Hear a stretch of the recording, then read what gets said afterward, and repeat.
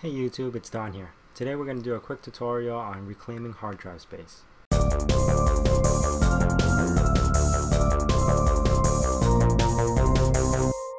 To get started, we're going to need to get into command prompt administrative mode.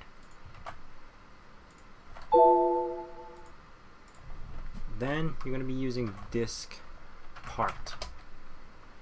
Here you, you should be able to list disk and it should show you which hard drive that you need to um, repartition to get back all the space. Now you can see that it says 931 gig, which is one terabyte drive. And if I open up my folders right here, you're gonna see that it only shows that I have 310 gigabytes. Now, I had this hard drive partitions in different ways because I had Linux booting, uh, dual boot with this hard drive, so that's why it's not showing all the space. Alright, to continue, we're gonna have to select disk 1 then we're gonna have to clean. This might take a little bit and it's gonna actually take out all the partitions in your drive. Uh, we could actually continue further with the disk utility and partition the entire drive but I'm gonna use the GUI instead. So I'm gonna exit this and close that out. We don't need that anymore. Well now we're gonna do what, what we're going to do now is go into control panel and search for disk which if I could type disk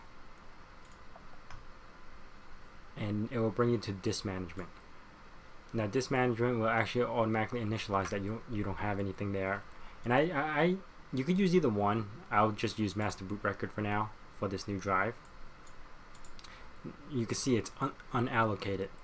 And if you pull up my drives again you'll see it's my other hard drive that had 310 gigs is not there anymore.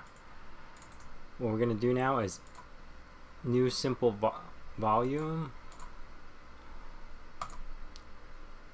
Assign the drive letter maximum space. I'll call this storage because that's what I'm going to be using it for perform a quick format. Next, finish disclaimer, you will lose all the information in that hard drive. And there you have it. Now you can see it's 931 gigabytes and it's empty because I formatted it. And now I can use this hard drive and use all the space from this hard drive.